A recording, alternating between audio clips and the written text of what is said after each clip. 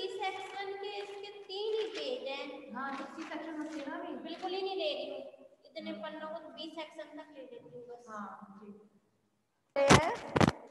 आपके आहार नाल के बारे में। ठीक है तो चलिए वन बाय वन बात कर लेते हैं। आप सभी जानते हैं कि एलिमेंट्री कैनाल एलिमेंट्री कैनाल मतलब आहार नाल वो मुख से स्टार्ट होके गुदा तक जाती है।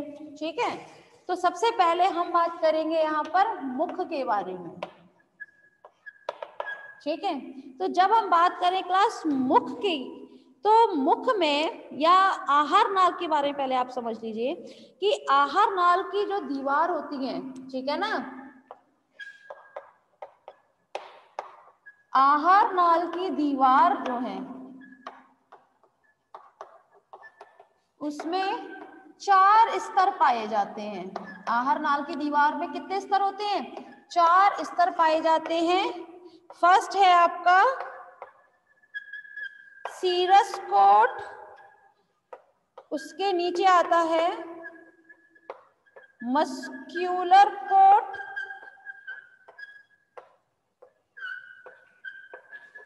third sub mucosa coat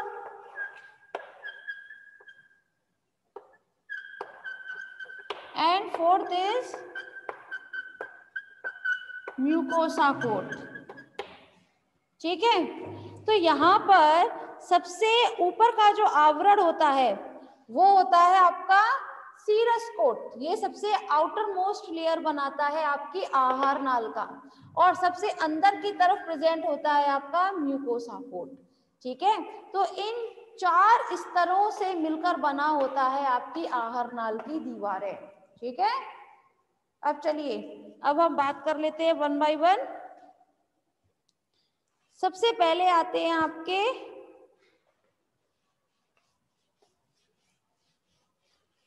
मुख में लिप्स लिप्स को हिंदी में बोला जाता है होठ या ओष्ठ के नाम से भी जानते हैं आप कहीं कहीं, ठीक है?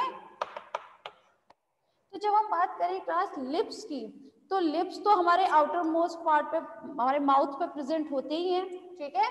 लिप्स के बाद आते हैं आपके वेस्टिब्यूल एक संरचना होती है जिसे हम बोलते हैं वेस्टिब्यूल। वेस्टिब्यूल क्या होती है, समझिएगा? वेस्टिब्यूल हमारे जबड़े व लिप्स के बीच की जगह होती है, ठीक है? तो जो हमारी लिप्स और टीथ के बीच की जगह जो होती है, उसे हम बोलते हैं वेस्टिब्यूल। किस नाम से जानते हैं? वेस्टिब्यूल के नाम से जानेंगे। उसके बाद आता है आपका ओरल कैविटी या फिर बक्कल कैविटी ठीक है? तो मुँह जो है, हमारा माउथ जो है, वो अंदर की तरफ़ कहाँ जाकर खुलता है? हमारे बक्कल कैविटी में खुलता है। ठीक है? ये जो अगर आप मुँह खोलकर देखेंगे तो आपको जो अंदर गुहार नुमा जो एक संरचना दिखाई देगी, उसे हम क्या बोलते हैं? बक्कल कैविटी जब हम बात करें क्लास बक्कल कैविटी की तो ये बक्कल कैविटी ये हमेशा गालों के द्वारा आश्रित रहती है। गालों से आश्रित रहती है। आश्रित मतलब होता है कवर्ड होना, ठीक है ना? ये हमेशा क्या रहती है? बक्कल कैविटी हमेशा हमारे इन गालों से चीक से हमेशा कवर्ड रहती है।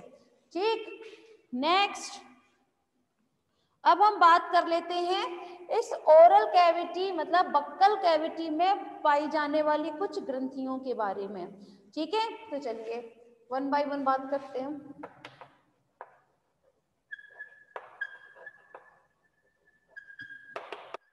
ओरल ग्लैंड्स तो क्लास जब हम बात करें ओरल ग्लैंड्स के बारे में तो सबसे पहले बात करते हैं फिशेस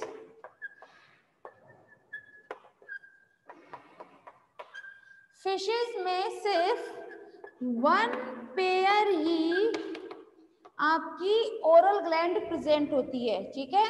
और ये कौन सी होती है? म्यूकस ग्लैंड म्यूकस ग्लैंड मतलब श्लेष्म ग्रंथि जिसे हम हिंदी में बोलते हैं। और ये श्लेष्म ग्रंथि किसका स्त्रावण करेगी? श्लेष्म का मतलब म्यूकस का स्त्रावण किया करती है। ठीक? नेक्स्ट एम्फीबियन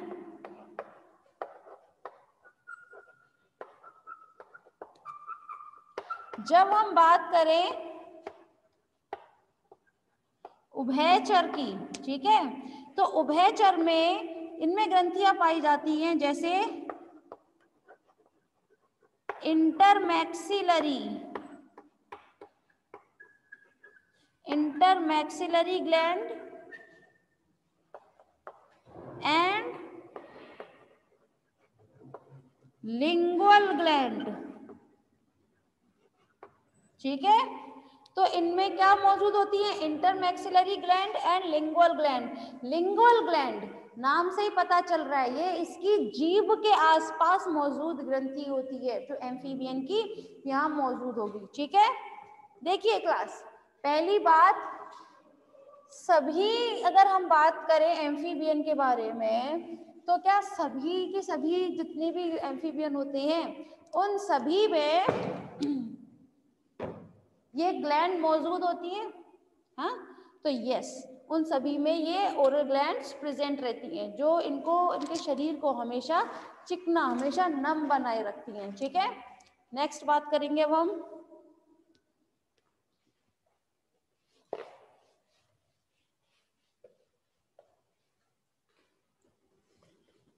रेप्टाइल्स के बारे में। रेप्टाइल्स। रेप्टाइल्स मतलब सरीसृप। सरीसृप में जो ग्रंथि पाई जाती हैं, वो होती है पैलेटाइन पैलेटाइन ग्लैंड। ये एक्चुअली होती है तालवी ग्रंथि। तालवी ग्रंथि से मतलब ये जो तालु वाला रीजन जो होता है, तालु समझते हैं ना आप जीभ के नीचे वाला रीजन ठीक है ना? तो वहाँ पे जो ग्रंथि उपस्थित होती है, उसे हम किस नाम से जानते हैं? पैलेटाइन ग्लैंड के नाम से जानते हैं। Second is lingual gland lingual gland मतलब जहाँ पर इसकी जीव उपस्थित है, ठीक है? वहाँ पर एक ग्रंथि पाई जाती है इसे बोलते हैं lingual gland third is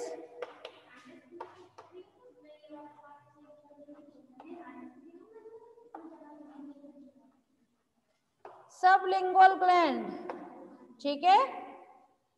और लास्ट में आती है लेबियल ग्लैंड आप लोगों ने जनरली देखा होगा कि जो रेप्टाइल्स है, हम रेप्टाइल्स में जनरली किसकी बात मानते हैं? स्नेक्स की, है ना? तो स्नेक्स में मतलब सर्प सर्प में जो पॉइजन ग्लैंड होती है,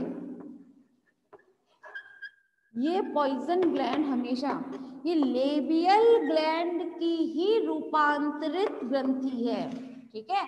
तो ये पॉइजन ग्लैंड जो है, ये कुछ एक्स्ट्रा ग्लैंड नहीं होती है, बल्कि लेबियल ग्लैंड का ही रूपांतरित रूप होती है, जिसे हम पॉइजन ग्लैंड के नाम से जानेंगे। ठीक है? अब हम बात कर लेते हैं बर्ड्स के बारे में।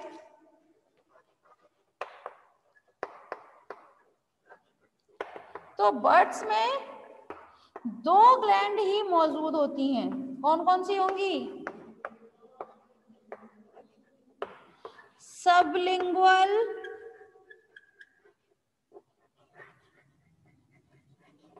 and second is angle gland ठीक है? ये दो ग्रंथि बर्ड्स में पाई जाती हैं। मतलब पक्षी वर्ग में ये दोनों ही ग्रंथि मौजूद होंगी। सॉरी अब हम बात करते हैं मैमल्स के बारे में।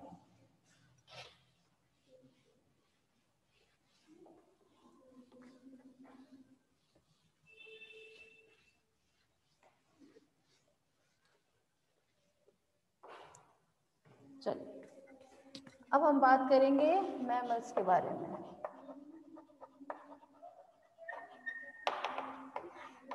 क्लास जब हम बात करें स्तनधारी जंतुओं के बारे में तो चलिए बात कर लेते हैं।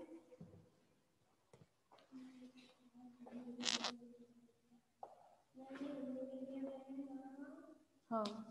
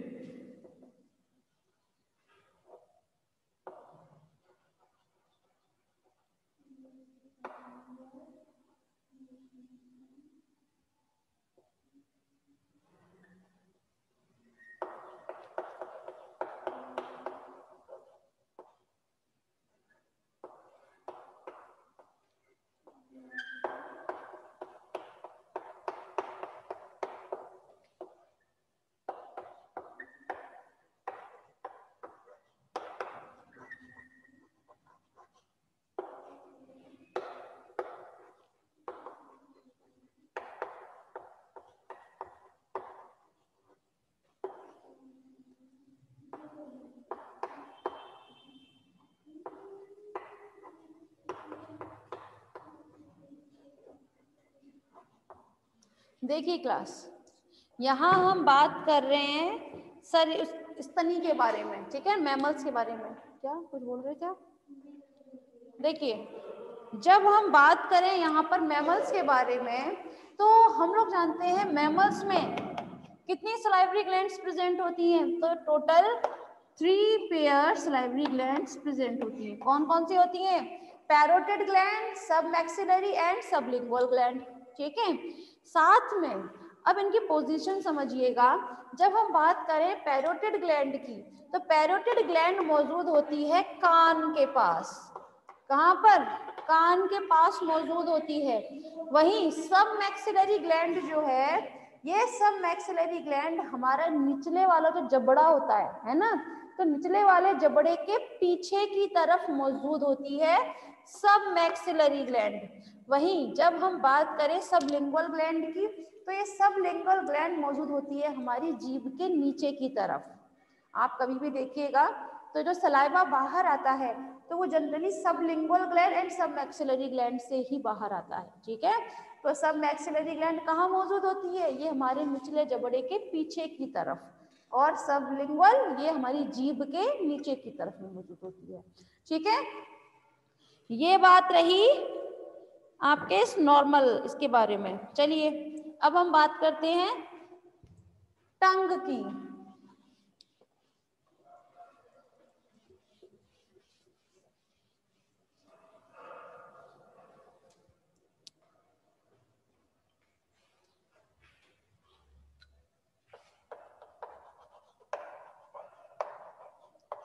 जब हम बात करें क्लास जीप जीप को सबसे पहले हम बात करने वाले हैं फिशेस के बारे में।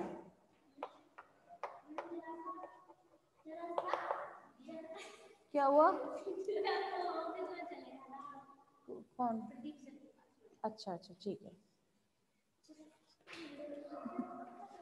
हाँ भाई, जब हम बात करें आपके फिशेस के बारे में तो फिशेस में जो जीप पाई जाती है, पहली बात तो ये बहुत वैसी होती है, मासल। मासल मतलब बहुत मस्क्यूलर टाइप की टंग होती है। मस्क्यूलर टाइप की होती है। इनमें फिशेस में जीप पाई तो जाती है, लेकिन ये हमेशा इनके तालू से चिपकी हुई रहती है। इसको ये अपनी मर्ज़ी से बाहर की तरफ़ जनरली नहीं निकाल सकते, है ना? तो फिशेस में जो टंग होती है, वो कैसी होगी आपकी? मस्क्यूलर देखने के लिए मिलेगी, ठीक है? लेकिन इनमें क्या चीज़? पेशियाँ नहीं होती हैं। इनमें क्या चीज़ नहीं होंगी? पेशियाँ नहीं होती हैं। ठीक है? जब पेशियाँ ही नहीं है तो ज़ाहिर सी बात है उनमें मूवमेंट होगा ही नहीं, क्योंकि किसी भी चीज़ के मूवमेंट के लिए ज़रूरी है कि उनमें पेशियाँ उपस्थित हो, है ना? इसीलिए तो कहा कि इनमें जो मस्कुलर टंग जो प्रेजेंट होती है, ये अपनी मर्ज़ी से उसको हिला नहीं सकती, क्योंकि उसमें मसल्स है ही नहीं, उसमें आपकी पेशियाँ हैं ही नहीं, ठीक है? तो ये बात रही आपके फिशेस के बारे में। नेक्स्ट एम्फीबियन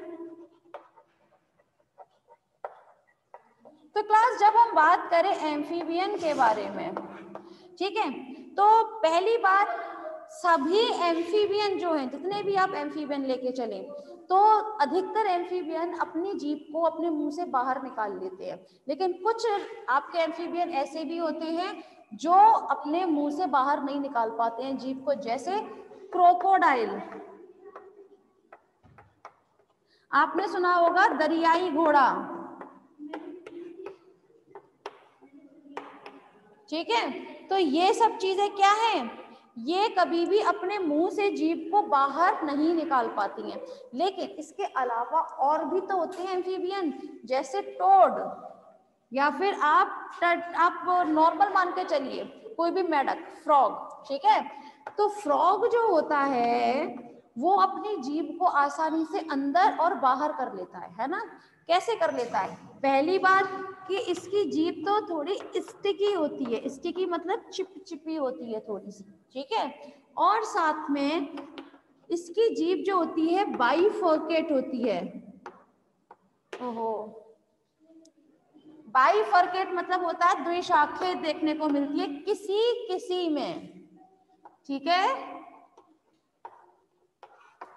वहीं जब हम बात कर रहे हैं कि फ्रॉग जो है, ये अपनी जीभ को आसानी से अंदर और बाहर कर ले रहा है। इट मीन्स कि इसकी जो मसल्स होती हैं एम्फीबियन की जो टंग होती है, जीभ जो होती है, उनमें पेशियाँ पाई जाती हैं। क्या पाई जाती हैं?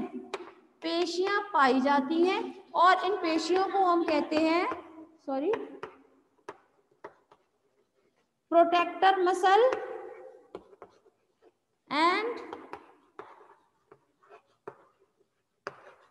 retractor muscle ठीक है? तो इन पेशियों को हम क्या कहते हैं? Protractor muscle and retractor muscle ये प्रोटेक्टर मसल और रिट्रैक्टर मसल के बारे में आप लोगों ने सेकेंड ईयर में भी पढ़ा होगा। जब पढ़ाया जाता है हमें लोकोमोशन के बारे में स्नेल के लोकोमोशन के बारे में। कि उनमें फुट में क्या मौजूद होता है? पैरों में फुट में प्रोटेक्टर रिट्रैक्टर मसल मौजूद होती है ना, जो उस फुट को अंदर और बाहर निकालने में मदद करती है। सिमिलरली इसकी भी जीभ में भी ये दोनों ही पेशियाँ पाई जाती हैं, जिसकी मदद से आपका कोई भी एम्फीबियन जो है अपनी जीभ को अंदर और बाहर आसानी से कर सकता है। ठीक है? चलिए। अब हम बात करेंगे नेक्स्ट चलिए ठीक है क्लास तो इसके आगे की बात फिर हम लोग कल करते हैं।